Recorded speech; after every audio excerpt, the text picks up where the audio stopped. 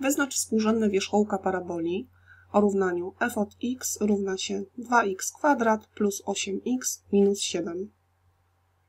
A następnie wyznacz zbiór wartości oraz przedziały monotoniczności tej funkcji. Zaczniemy od współrzędnych wierzchołka.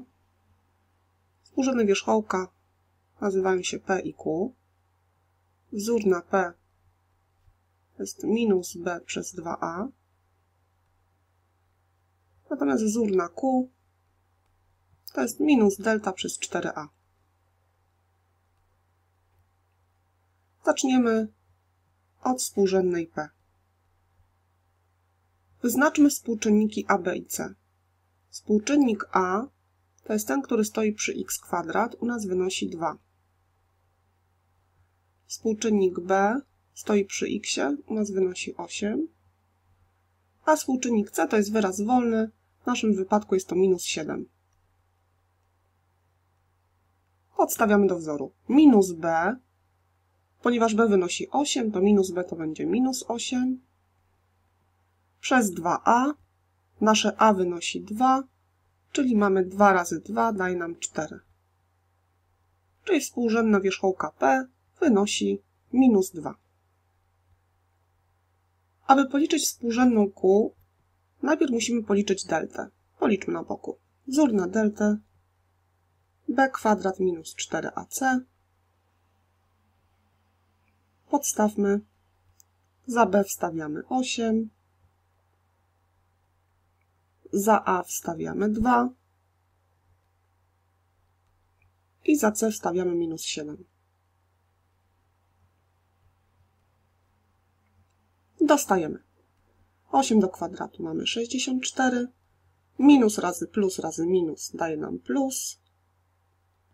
2 razy 4 mamy 8, razy 7, 56.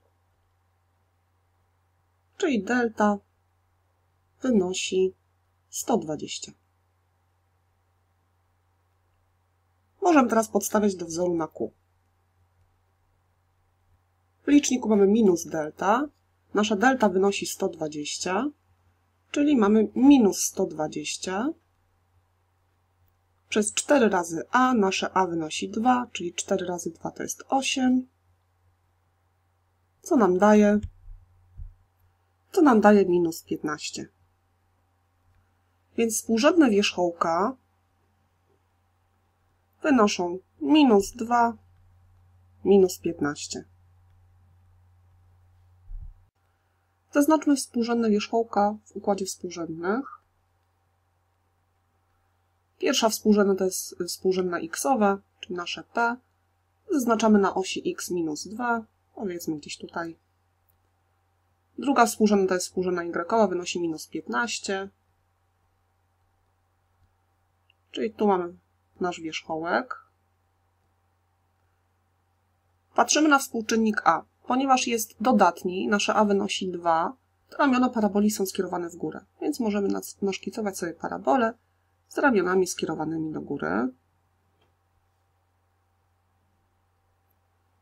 I na podstawie naszego wykresu możemy już odczytać zbiór wartości i przedziały monotoniczności. Zaczniemy od zbioru wartości. Zbiór wartości, czyli zbiór y.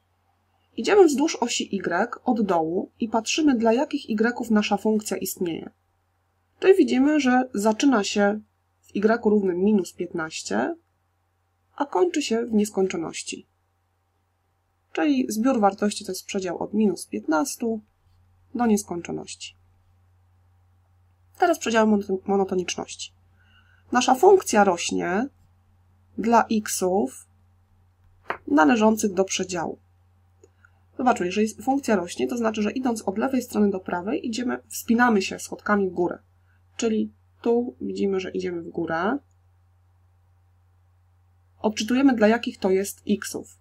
I widzimy, że to jest dla x od x równego minus 2 aż do nieskończoności.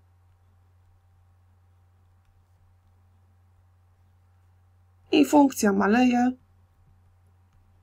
dla xów należących. No i widzimy, skoro maleje, no to idąc od lewej strony do prawej, idziemy schodkami w dół. Czyli jesteśmy w fragmencie od minus nieskończoności aż do minus 2.